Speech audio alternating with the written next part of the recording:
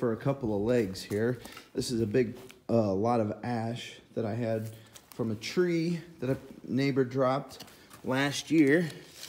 I'm looking for something about 20, 25, 26 inches in length that I can use. I think this guy's gonna be about that.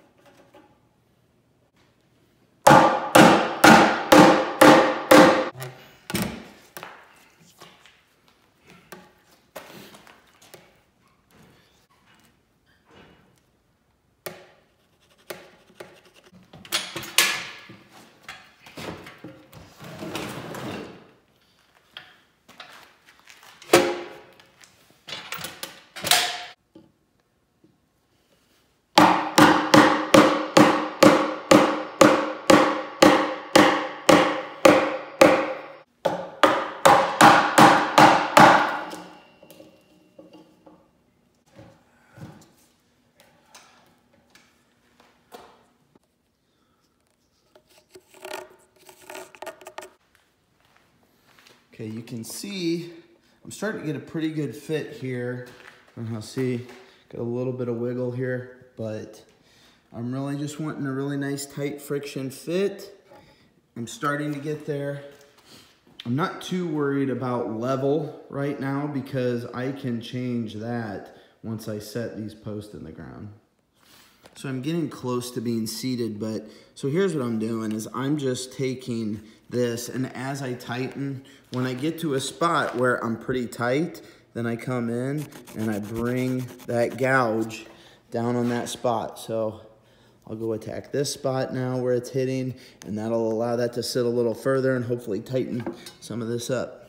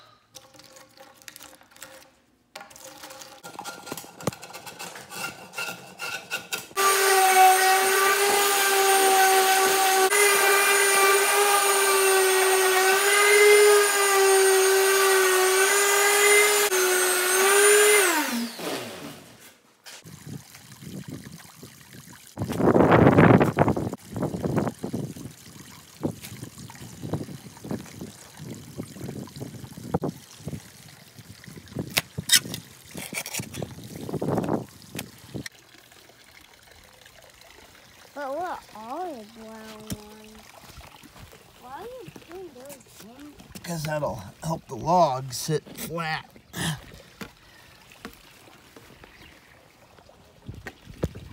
you use that, I'm gonna tell you it's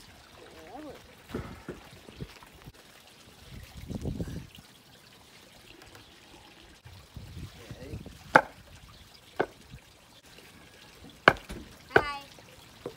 Look, I found a glove one. Hey, you're gonna help me here in a second. Yeah, well, um, why can't Whoa. I Gotta get this flat. What? Look how I'm floating. I'm Now careful. Buddy, be careful. See? It's still moving on me. So, I can even pick up this.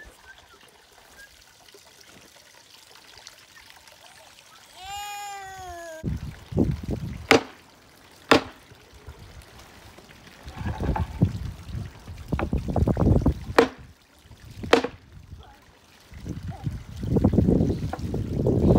You- Who's Hudson? can you get up there for me? Can you try Why? Sitting on it? Why? Just see if it works.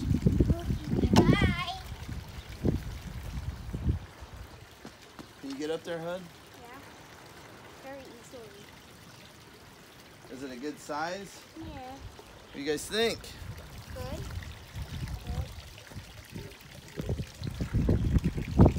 You think you can feed the fish from there? That's a good point. And if you stand on it, could you still go? Should we feed the fish? Yeah. Just go.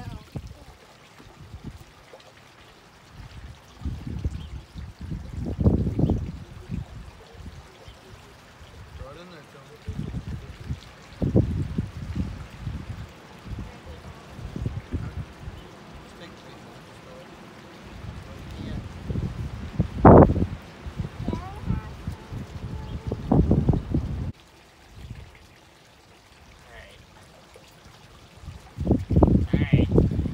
Uh, this could be we're walking on a road.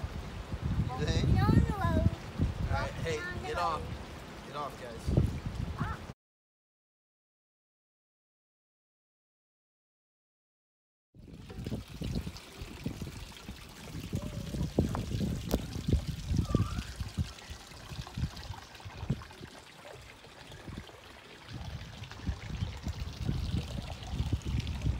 Thanks for tuning in. No glue, no nails, no screws bench that we've sat by our fish pond here.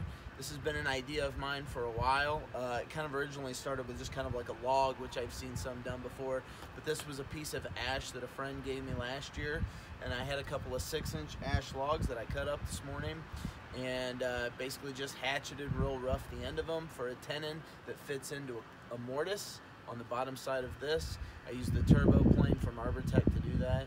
And the only thing I may do differently is I may cut a hole for a mortise all the way through this bench and let those tenons come all the way through and really let this thing sink in. I'm gonna let this sit out here for a little while and see how well it does in the weather and see if it'll hold up. So let me know what you think in the comments and if you have any suggestions or ideas to add to this or a similar build like this, let me know.